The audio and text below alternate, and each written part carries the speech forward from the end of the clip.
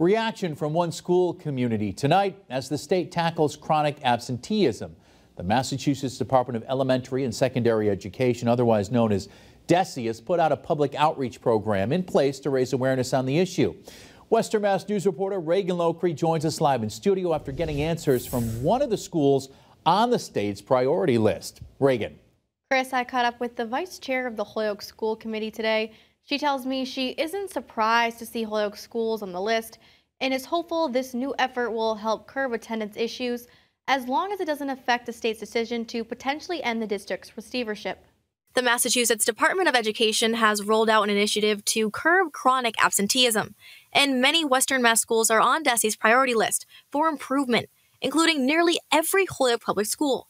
The names of those on your screen. Any extra attendance and support we can get from the state, um, any extra attention uh, through the state's new campaign with their social media and their advertisement can only help. Vice Chair of the Holyoke School Committee, Erin Brunelle, tells Western Mass News that Holyoke Public Schools, as well as many other schools across the Commonwealth, have struggled with absenteeism following the pandemic. We went from encouraging families to stay home if they had, you know, a minor cough or cold in case it was COVID, to now, you know, re-messaging and encourage families to be proactive but to not necessarily keep their kids home unless they, they're testing positives. Brunelle says absenteeism has been a topic of discussion at almost every school committee meeting she's attended, adding it's something the district has been working on for quite some time now and will continue to work to get numbers up with initiatives like award ceremonies that honor good attendance and retraining the mindset on sick days following the pandemic.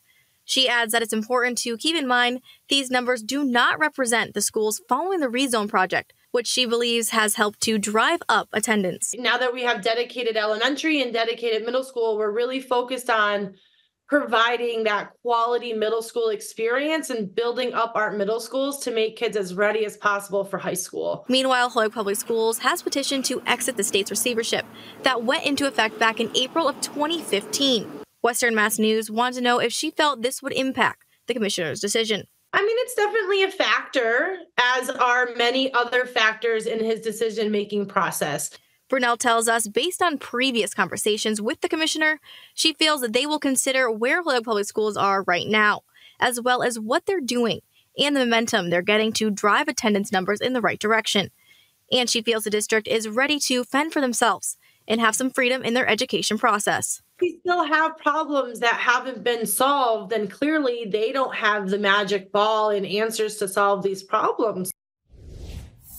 Brunelle tells me they expect to hear from the commissioner on February 2nd with his final answer on their petition to end the nine-year-long receivership. For a link to DESE's website where you can see the full list of priority schools in Massachusetts, head to our website, westernmassnews.com. Just click on the blue as seen on TV button. Reporting live in studio, Reagan Locree for Western Mass News.